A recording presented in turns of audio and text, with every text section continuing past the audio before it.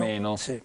Ecco, eh, io credo che poi molto giochi e poi il discorso inevitabilmente andrà anche sull'impatto emotivo che certe notizie hanno anche sulla questione della, della sicurezza no, di, di, questi impianti. Allora, eh, nelle scorse settimane eh, su alcuni organi di stampa io avevo letto una dichiarazione eh, dell'ingegner Chester, ecco perché questa sera l'ho invitata, eh, in cui lei diceva su quello che è successo in Giappone si sta facendo... Mh, uso la sintesi giornalistica, certo. ma più o meno lei diceva del terrorismo, del terrorismo psicologico, qualcosa del genere diceva. Beh, sono parole forti perché comunque andiamo ad affrontare un tema sul quale c'è effettivamente molta preoccupazione, molta apprensione diffusa, no? Beh, diciamo che ha reso il, quello che ho detto. Eh, L'altra cosa che ho detto è che secondo me a livello attuale la tecnologia solare è appena un gradino sopra l'astrologia e questa è l'altra affermazione la, forte. La, la tecnologia mi... solare, mi perdoni, cioè la possibilità di ricavare energia. Dal solare, secondo me, è appena un gradino sopra all'astrologia, scientificamente Agli parlando. oroscopi, per intenderci. Esatto, agli oroscopi. Mm. Detto questo, vorrei tranquillizzare i telespettatori dicendo che eh, nucleare in Italia non se ne farà per diversi anni. E questo, nonostante io sia un nuclearista convinto e non pentito. Eh, vuoi perché è stato male affrontato, e in questo sono d'accordo col professore, vuoi perché si voleva comprare una tecnologia tutto sommato o troppo vecchia o troppo nuova e, e vuoi per l'incidente ultimo in Giappone che comunque spaventa l'opinione pubblica. Io eh, posso dire però, per esperienza diretta, che sono un lavoratore esposto a radiazioni nucleari tutti i giorni, mm. perché io per mestiere eh, controllo le persone che lavorano ad esempio nei depositi di scorie radioattive e mi occupo del, suo, del ricondizionamento di queste scorie. Eh, se poi abbassate la luce vedrete che sono leggermente fosforescente. Ma detto questo, no, vabbè, eh, la dose... spero. Sì, sì. certo. Eh, no, perché magari a casa non capiscono. a casa ci eh. credo.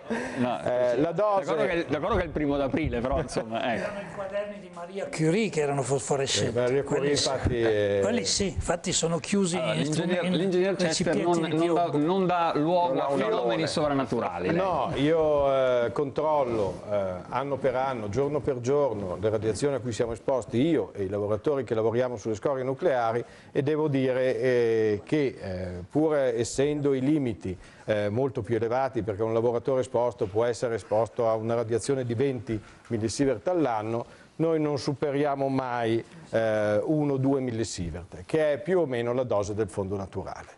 Quindi mi sento di dire, eh, da un punto di vista diretto, eh, che eh, è una tecnologia tutto sommato sicura.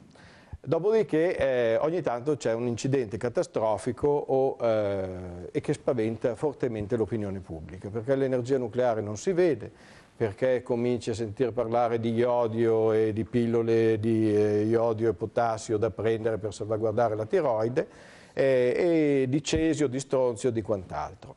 E, e, questo purtroppo sull'opinione pubblica ha un effetto devastante e non permette di approfondire il problema.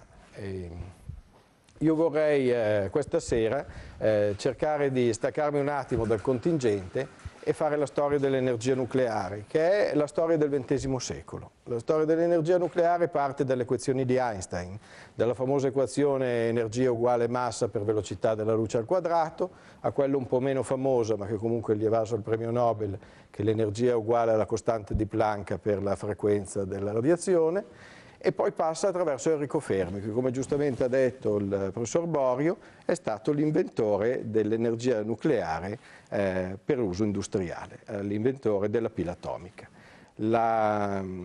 All'inizio non aveva capito quello che aveva scoperto, erano i ragazzi di Via Panisperna nel 1934 in pieno regime fascista e, e con la nascita del nazismo alle porte. Eh, c'era Enrico Fermi, c'era Ettore Majorana, eh, c'erano tutti gli ingredienti di una spy story. Eh, Enrico Fermi bombarda questo atomo di uranio 235 con un cannoncino a neutroni e, e, cerca degli elementi transuranici. Non si accorge di aver invece provocato la fissione dell'atomo con la creazione di questa energia che mette a disposizione dell'uomo poi nel 1942. Eh, qualcuno dice che Ettore Majorana invece, che era il suo fiero avversario, l'avesse capito. Tant'è vero che eh, i due hanno uno scontro molto violento ed Ettore Majorana poi nel 1938 sparisce misteriosamente. e misteriosamente è riapparso nei giorni scorsi in una foto d'epoca insieme a un gerarca fascista. Fermi se ne va, è un gerarca nazista, scusate. Fermi se ne va in America perché intervengono le leggi razziali e sviluppa questa tecnologia eh, anche a scopo bellico, fa parte del progetto Manhattan. Di Majorana si perdono le tracce, c'è un bellissimo libro di Sciascia che lo vede in convento, qualcun altro pensa che sia stato rapito dai tedeschi, qualcun altro semplicemente pensa che abbia messo la sua intuizione al servizio del Terzo Reich per la creazione della bomba atomica. Tant'è che nel dicembre 1938 eh, sono due tedeschi che eh, per primi eh, illustrano quello che è stato il fenomeno di fissione nucleare sulla quale poi si basano i reattori odierni cioè bombardando un atomo di uranio 235 con dei neutroni, quest'atomo rigonfia e si spezza. Si spezza eh, dando luogo a questi prodotti di fissione che tanto spaventano la gente, cioè lo iodio, il cesio, lo stronzio 90, eh, più altri che hanno una vita brevissima, perché non dimentichiamo che tanti dei prodotti di fissione non durano milioni di anni, durano qualche nanosecondo. Eh, quelli a vita più lunga sono appunto il cesio, forse lo stronzio, e il plutonio di cui parleremo più avanti se avrete voglia di starmi a sentire. Lo iodio ha una vita, quello che contamina adesso il mare eh, di fronte a Fukushima, ha una vita di 8 giorni, un'emivita di 8 giorni che vuol dire che in 80 giorni io di odio radioattivo 131 non ce l'ho più, correggimi poi se sbaglio. Mm. Ecco, quindi è vero, eh, l'incidente è rilevante, eh, l'uscita di radioattività è significativa, lo iodio 131 dopo tre mesi non ce l'ho proprio più. Quello che invece ho è il cesio e lo stronzio, ma che comunque sono elementi più pesanti, che si fissano, è vero, nella catena alimentare, lo stronzio per affinità eh, nelle ossa al posto, al posto, del calcio e il cesio nei muscoli per la sua affinità col potassio e quindi va eh, nella, nella catena alimentare e la risale tutta la catena alimentare hanno una vita però che non è di milioni di anni, mm. uno ha una vita di 28 anni, l'altro ha una vita di 30 anni e questa è la realtà del nucleare che è bene tenere presente. Poi eh, per ritornare alla storia, abbiamo la storia dell'energia nucleare in Italia, l'Italia è stato uno dei primi paesi che ha sfruttato a scopo pacifico l'energia nucleare e nel 1963 era uno eh, dei maggiori produttori mondiali. Poi c'è stato lo scandalo Ippoliti che forse quasi nessuno ricorda. Ippolito. Eh, fu arrestato, fu tolto dal, dal, suo incarico di presidente del, del, di quello che era l'ente nucleare italiano allora, ci fu la, la morte di Mattei. Mattei era stato uh, uno di quelli che uh, più fortemente aveva voluto l'energia nucleare in Italia, tant'è che aveva realizzato la centrale di Latina. Mm. Così come aveva voluto fortemente il gas perché Mattei vedeva molto in là le cose.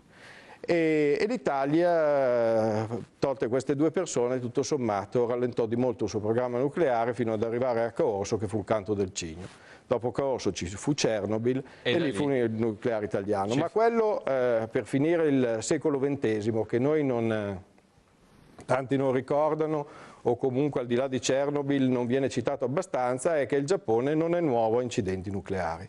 1999 Tokamura eh, impianto di ricondizionamento del combustibile, eh, tre operai eh, completamente sprovvisti delle adeguate conoscenze riprocessavano combustibile arricchito al 20% e dettero luogo a un fenomeno di criticità che è uno degli incidenti nucleari che si ricordano e che si studiano proprio perché ha dato delle problematiche. Beh, sono morti tre operai ovviamente, eh, ma comunque è stato circoscritto. Nella scala Ines che tutti quanti sentiamo in questi giorni parlare, Nominare, ma, sì. ecco, ma che nessuno poi eh, si dà cura di spiegare alla gente, eh, era un incidente di scala 4 o 5 mi sembra.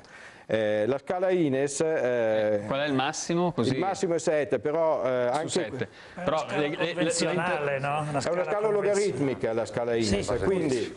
Allora, vi, vi, chiedo un attimo se, se, potete aspettare un attimo, perché abbiamo, mi dicono, un po' di telefonate in linea. Allora, eh, anche perché pagano loro, credo, quindi almeno risparmiano, se no li ho sulla coscienza anche sul portafoglio dei signori. Sentiamo chi ci è collegato con noi questa sera. Buonasera. Sì, buonasera. Da dove ci chiama? Eh, da Vigevano. Da Vigevano, buonasera. Lei cosa ne pensa? Buonasera.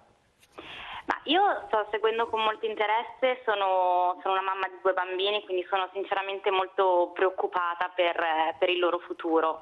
eh, è sicuramente fondamentale investire sul, su fonti alternative, sul rinnovabile e quant'altro, però mh, se possibile vorrei eh, che si approfondisse il discorso della, della sicurezza eh, per ovvie preoccupazioni materne eh, perché è vero che siamo l'Italia dei, dei, dei, grandi cervelli che sono appena stati citati, però siamo anche l'Italia che non sa come smaltire i rifiuti, eh, che, che, specula, che intasca i soldi a disposizione per le opere pubbliche. Quindi ecco, mh, vorrei avere magari qualche informazione in più su, ok, si può fare il, ehm, il, il nucleare sicuro, ma ce la possiamo fare anche in Italia? Grazie, è stata, è stata chiarissima, cioè eh, d'accordo tutto, però non dimentichiamo che in fondo siamo italiani, grazie a questa signora che ovviamente cala poi nella realtà del nostro, del nostro, del nostro paese, effettivamente magari qualche dubbio può, può venire. Abbiamo un'altra telefonata in linea, pronto? Pronto? Buonasera. Buonasera, sono Francesco da Voghera. Prego Francesco, ci dica. Sì, eh, io le mie perplessità sul Pronto? nucleare... Pronto? Sì, abbia pazienza. Mi ripete il suo nome? Sono Francesco da Voghera. Francesco da Voghera, prego, mi dica. Sì, le mie perplessità sul nucleare non riguardano tanto la sicurezza, ma come ha detto il professore prima, motivi economici, soprattutto per quel che riguarda l'acquisto dell'uranio. Sì. E in secondo modo un motivo più che altro politico. La lentezza e la litigiosità dei vari enti presenti in Italia, abbiamo visto già con casi precedenti come con la TAV o come con eh, le discariche a Napoli, eh, non so quanto tempo ci metteremo per mettere d'accordo un po' tutti. Eh beh, ringrazio. Una...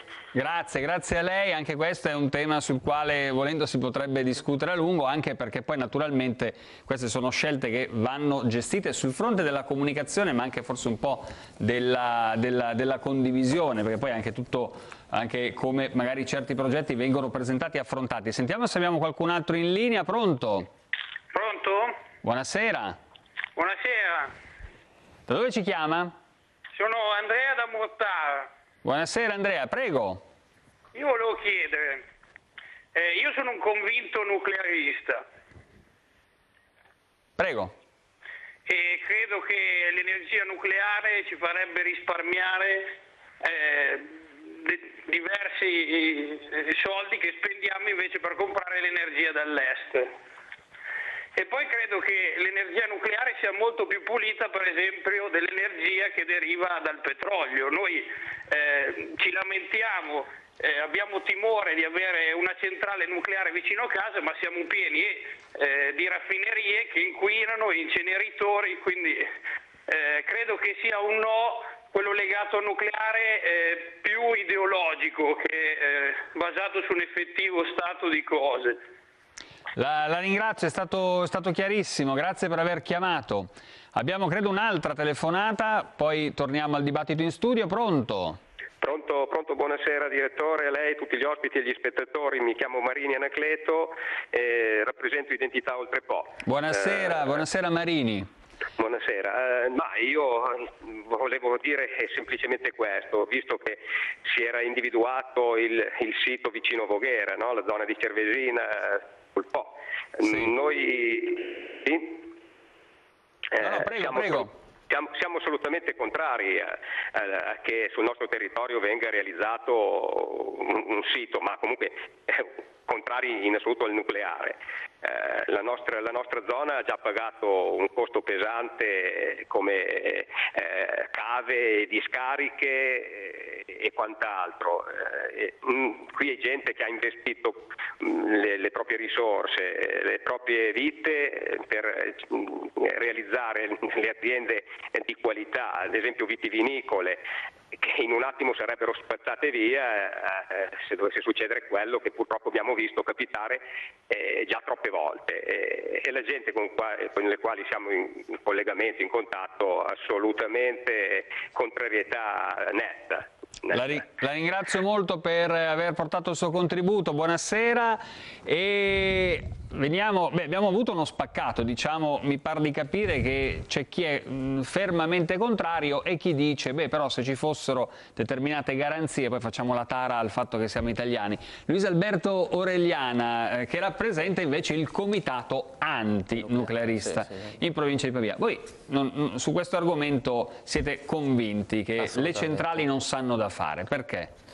Ma, per tanti motivi, ci sono motivi economici, ci sono motivi appunto di sicurezza.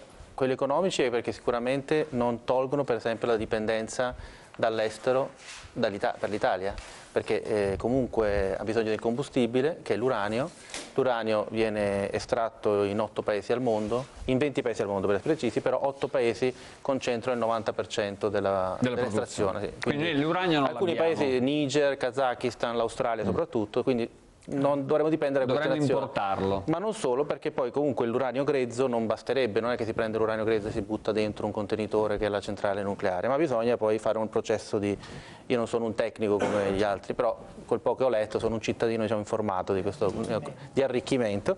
E quindi questo ci darà, ci, e non abbiamo neanche questa tecnologia, quindi dovremmo essere dipendenti anche da altre nazioni tipo la Francia, che poi è il principale sponsor abbiamo visto tutti gli accordi Berlusconi-Sarkozy eh, per il nucleare in Italia, che poi questo nasce diciamo, dalla, dal grosso debito pubblico che ha l'Italia, per cui 511 miliardi di euro del debito italiano sono in mano alla Francia.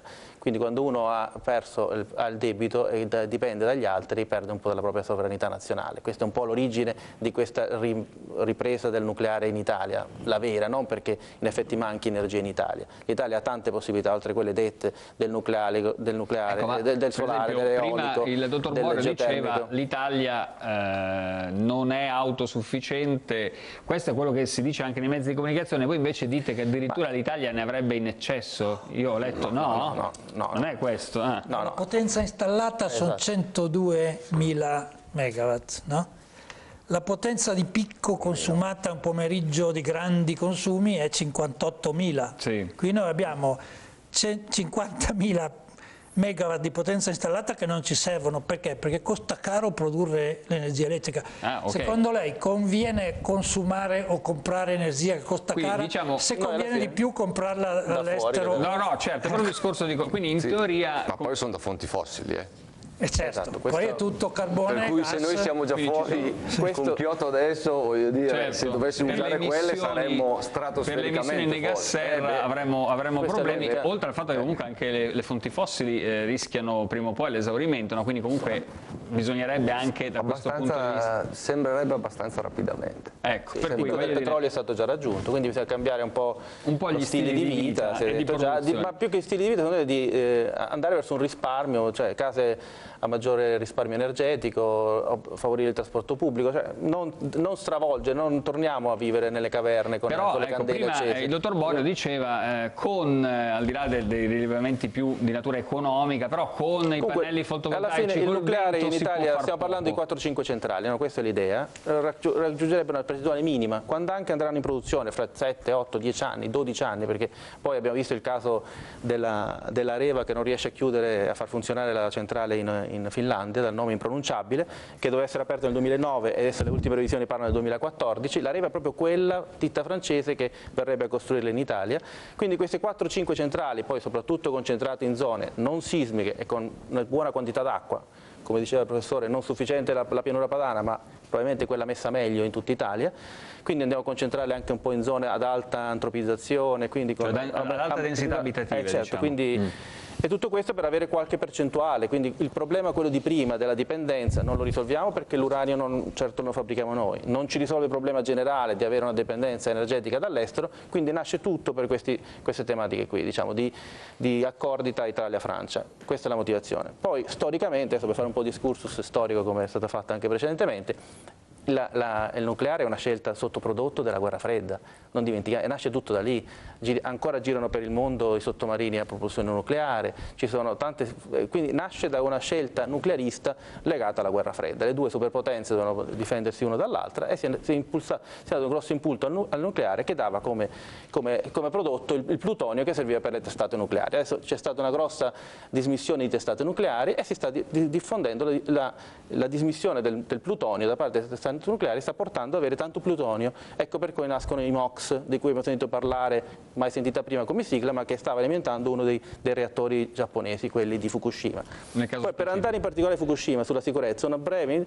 Allora, intanto posso, nel... posso chiedere una sì. cosa? Sul tema sicurezza, sì, tema importante. Poi è importante ci, ma... ci, fermiamo qui, riprendiamo dopo sì. la pubblicità, così il pubblico a casa eh, sente la parola sicurezza eh, e si guarda anche tutta la pubblicità, i nostri inserzionisti sono contenti. Facciamo una breve pausa, ci sono le ultime notizie per chi ci sta seguendo in diretta questa sera, l'informazione delle 22 e poi di nuovo in diretta a Targato PV per andare avanti a sviscerare questo tema così complesso, lo avete capito, e che divide davvero l'opinione pubblica. Il nucleare in Italia sì o no? A tra poco.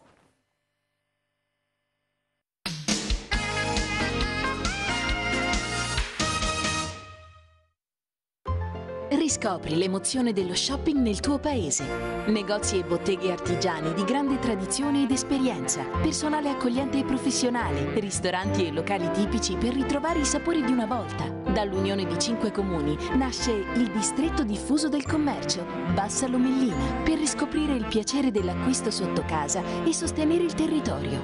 Sostieni il commercio locale, acquista nel tuo paese. Distretto diffuso del commercio Bassa Lomellina, spazio urbano a misura d'uomo. Perché c'è sempre più gente che per risolvere i problemi dell'acqua domestica si affida agli impianti Calligan? Guardate in casa del signor Monti. Senza il calcare nell'acqua evita grossi danni agli impianti della casa e la signora ha il bucato morbido senza usare ammorbidenti. E con l'acqua Calligan è un piacere fare la doccia. E poi Calligan ti dà l'acqua di una sorgente montana. Calligan, il numero uno nel mondo per il trattamento dell'acqua. Calligan, acqua pura per la tua casa.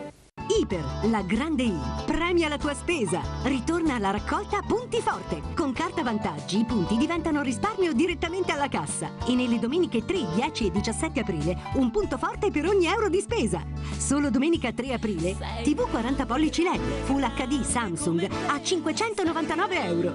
Da Iper, la grande I, a Montebello della Battaglia. Fondazione Le Vele pensa al futuro, il tuo. Corsi di formazione per l'inserimento specialistico nel mondo del lavoro in un ambiente moderno e attrezzato. Fondazione Le Vele opera in provincia di Pavia, in collaborazione con gli enti, le istituzioni e le aziende. Uno staff di professionisti di esperienza ventennale e consulenze esterne consentono un costante interscambio di know-how. Fondazione Le Vele è certificata Unianiso 9001 ed è accreditata come ente di riferimento della Regione Lombardia. Fondazione Le Vele, formazione formati per essere competitivi. A Zavattarello riapre il Castello dal Verme per la stagione 2011. Da sabato 2 aprile sarà di nuovo possibile visitare la Rocca con le scuderie, gli spalti, la cappella e le sue 40 stanze. Un'occasione per rivivere una storia lunga mille anni e godere di un panorama mozzafiato dalla terrazza e dalla torre.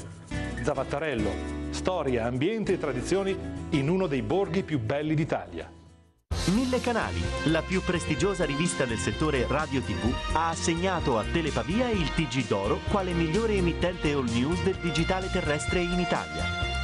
Telepavia, migliore emittente all news del digitale terrestre, secondo Mille Canali, la più autorevole rivista del settore radio-televisivo.